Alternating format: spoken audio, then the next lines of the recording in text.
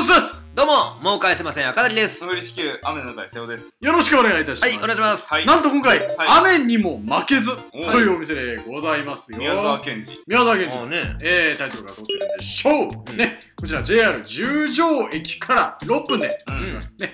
普段はね、鶏の、あのー淡麗な塩ですとか醤油を出してるお店でして、はい雨の日だけ出していた二郎系が、なんかレギュラー化したんです。えへー、ー。えー、ということでこちらがその鶏かける塩のラーメン。おおしゃれな。えー、非常にね、鶏の香りがふわーっときてね、なんか、こう、特別なものを食べてるような一杯になるんですよね。で、それに比べてこちらの飴二郎です。飴二郎へー大盛りで全部マシマシにしてまして、はいこの一杯、なんと様々な仕掛けが施されてるんですね一個ずつ見ていきましょうか。はい。見ちゃいます？いや、見ますよ、それは。はスープから。い。はい。うんこれがね、なんとまず一つ目。これなんと魚介系の乳化スープなんですよ。まずここがすごいですよね。えー。まあ、ややね、下にこう、ざらつきがある、うんうん魚魚したテイストなんですね。お魚だなーっていうのが第一魚だな。うんうんはい。そしてこの油なんだけど、はい。なんとですね、これが黒毛和牛のガーリックオイルなんですよ。えー。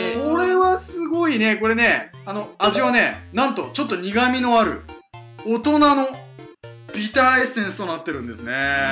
そんな油食べたことないよ。食べたことないでしょ、うん。びっくりしちゃってびっくりマーク出ましたけど、ええ魚介のぬかむの中に浸して、うん。うん。牛と魚のこの重厚な組み合わせを、こう、理解しながら味わっていくわけですわ。はい 理解しながら。で、これですよあ。気になってたよ。ローストビーフかな？思いますよね。この薄さのなんか、ね。かじっていきます。なんとこれ、うん低温でローストした薄切りの豚なんですよ。えローストポーク。あの、食感も良くて。うで、これね、うん炭焼きのこのチキンがね、ん。入ってくる。これも豚なんですよ。あ、豚ね。こんがりと炙った豚なんですよねあ。でこういったものがね、工夫されて入っていく中ではい麺を引き出していきますが、まあ、あの麺としては超ごわつきの縮れ麺うん。うん。なんですけども、先ほどのオイルと、この苦味とね、滑らかさがあって、これをね、理解しながら食うのがね、理解しながら。IQ が試される。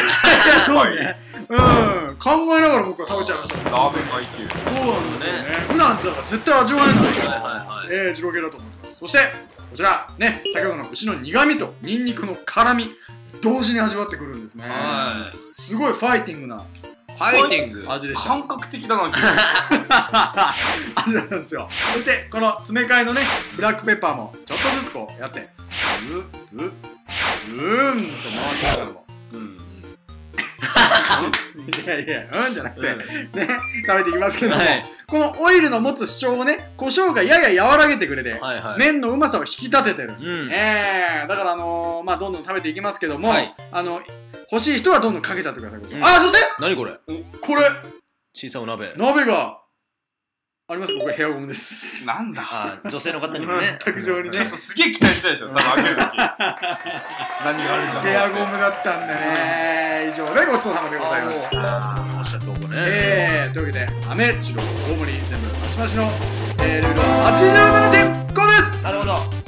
おめでとううん。えー、というわけでね、あのー、この日はなんと食券が壊れててあの席ついて決まったら席ついてくださいって言われて、えいうなかなか決まなくこう食券を行ったり来たりしたけどねこうやって、えー、そんな十条の名店でございましたので、はい。皆さんもぜひ行ってみてね。ー、はい。ゴチ